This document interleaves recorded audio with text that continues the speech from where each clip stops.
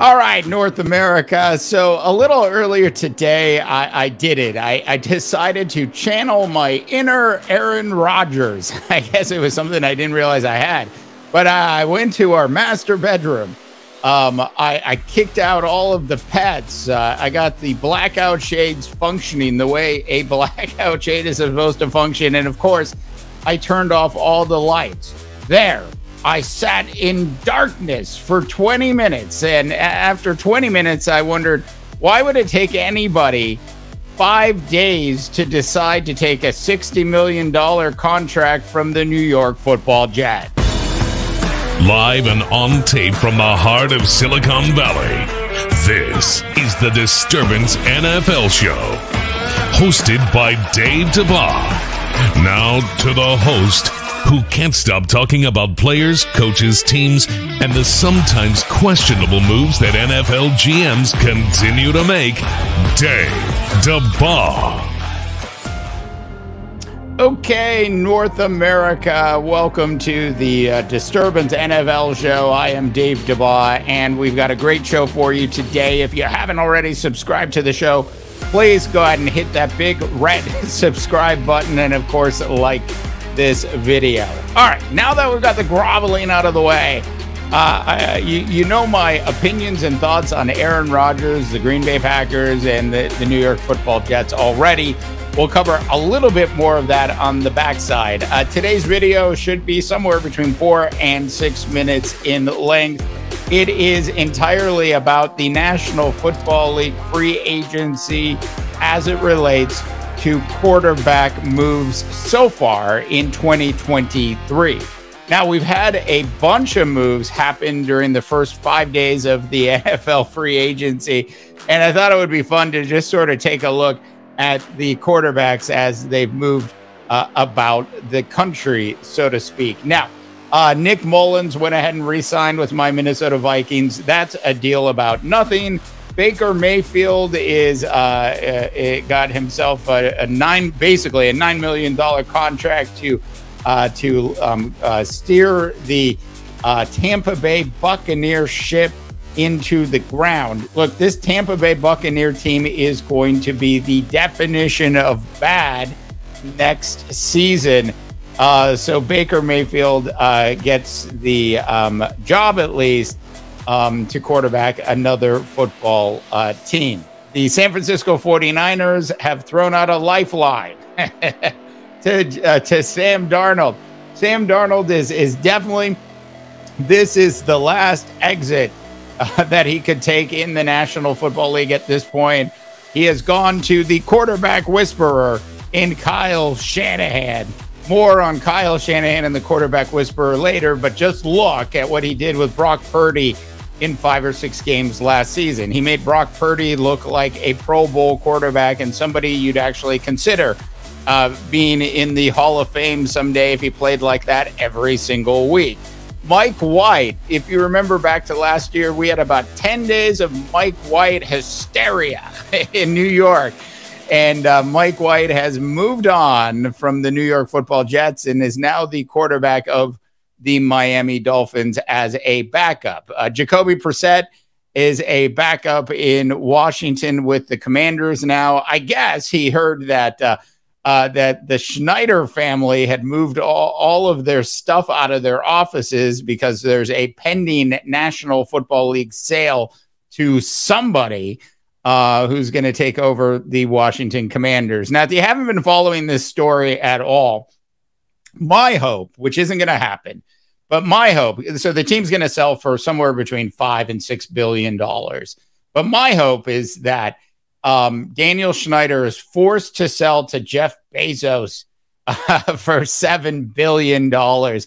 I just want to see Bezos throw some of his money around unnecessarily um, against somebody that uh, deserves um, uh, that that was just super bitter and wouldn't even allow Bezos to bid in the first place, and won Daniel Snyder because of some petty things that Bezos's uh, newspaper that he owns actually published, which, by the way, were 100% accurate to begin with.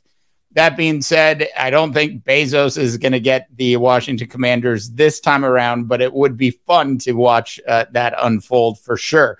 Jarrett Stidham is with the Denver Broncos. Andy Dalton is a Carolina Panther continuing his long, strange Bill Walton style journey minus the 420. Taylor Heinicke is an Atlanta Falcon. Um, and uh, the big two uh, deals that have gone down in NFL free agency so far are Derek Carr uh, to the New Orleans Saints. And of course, Jimmy Garoppolo is now a Las Vegas Raider.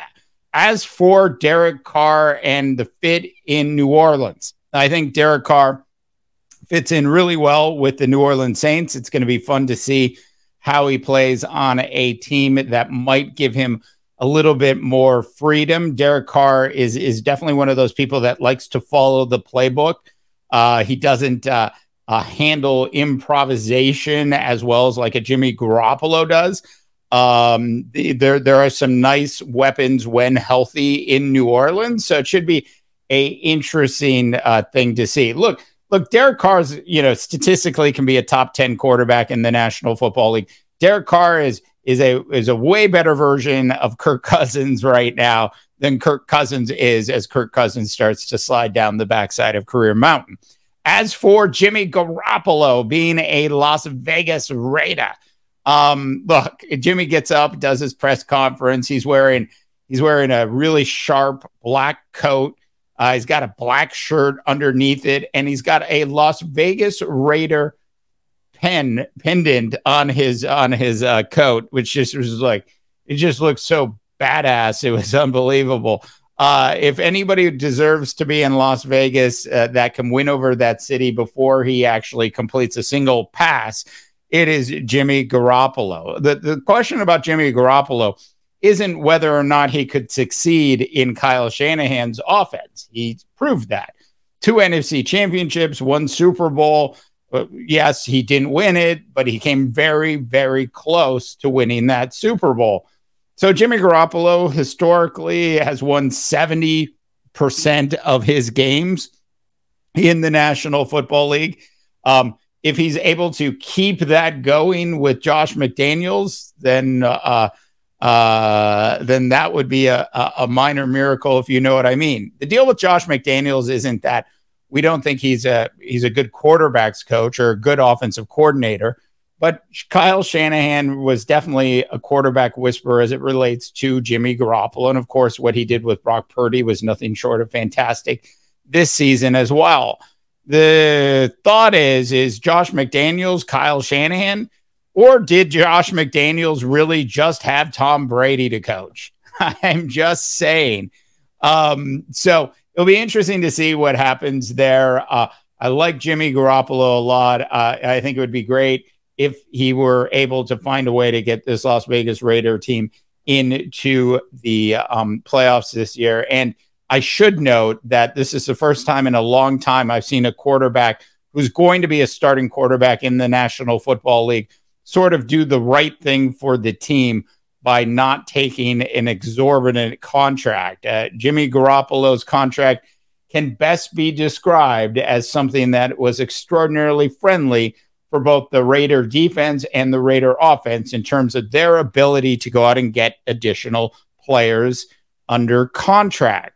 That is something that we don't see a lot of quarterbacks in Jimmy Garoppolo's position, especially quarterbacks that can say, they've won 70 plus percent of the games that they've quarterbacked in the National Football League. Those are historical numbers that Garoppolo has put up.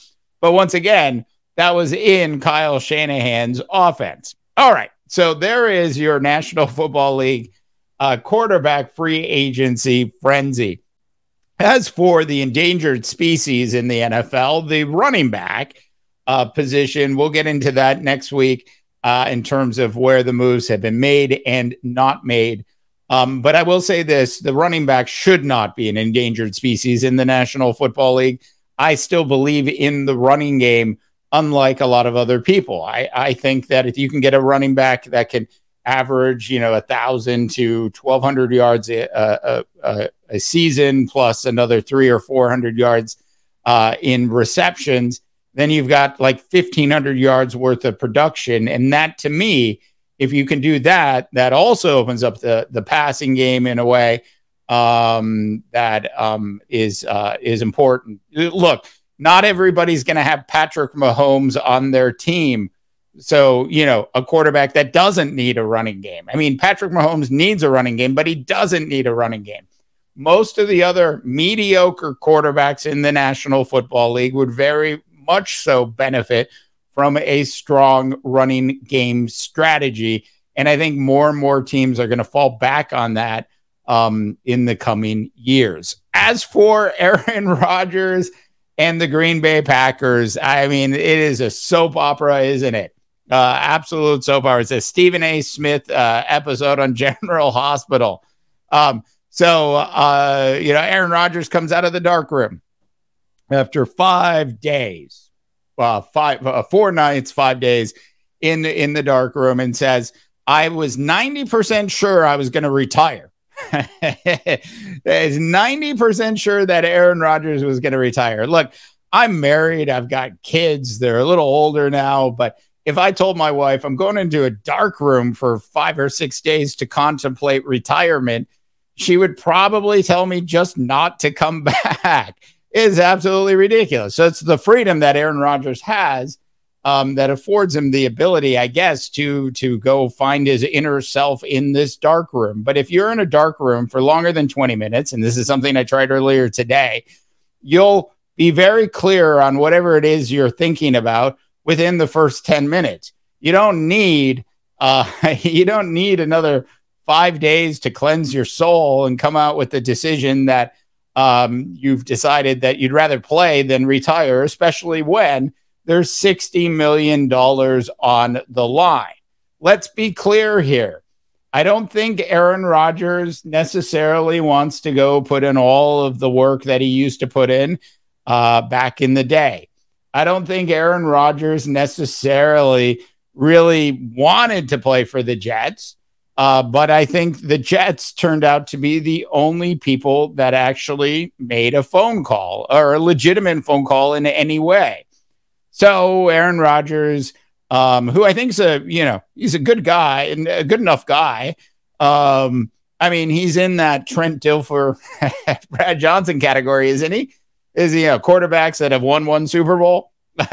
Look, I kid. Aaron Rodgers is one of the greatest quarterbacks you've ever seen um, uh, in the National Football League. You know, winning a Super Bowl is not everything. It's, it's certainly hard to do, and it's definitely a team effort um, that that comes down to it. But Tom Brady, in his career, when he needed to be clutch, was clutch. Aaron Rodgers, in his career, when he needed to be clutch, wasn't most of the time in the playoffs. And that's the difference. On on paper, if you watch these guys all play, you'd be like, hands down, Aaron Rodgers is the best quarterback you've ever seen, especially. Um, especially if you just go back in the uh, hot tub time machine just 24 months ago, is a phenomenal quarterback, so talented. It's just in those key games during the playoffs, and Aaron Rodgers would fall apart in a way Tom Brady wouldn't. That is the uh, the difference there. So uh, at some point in the next hour, in the next day, I don't know, in the next uh, a week or in the next month as this Green Bay Packer, New York Jets, Aaron Rodgers uh, General Hospital episode with Stephen A. Smith continues to unfold in front of all of our eyes. Eventually, a deal will get done. All right, North America, thanks so much for tuning into the uh, uh, Disturbance NFL show. Um, if you haven't already subscribed, please subscribe to the big, big red button and of course, uh, like this video. Do check out our big sports website at disturbance.live when you have a chance. For the Disturbance NFL show, I'm Dave Dabbah, wishing you all a tremendous rest of your sports viewing week. The Disturbance is brought to you live and on tape from the heart of the Silicon Valley and is a production of the Mighty Rip Podcast Network. For more witty, 100% independent NFL and NBA sports coverage, check out our big sports website at disturbance.live.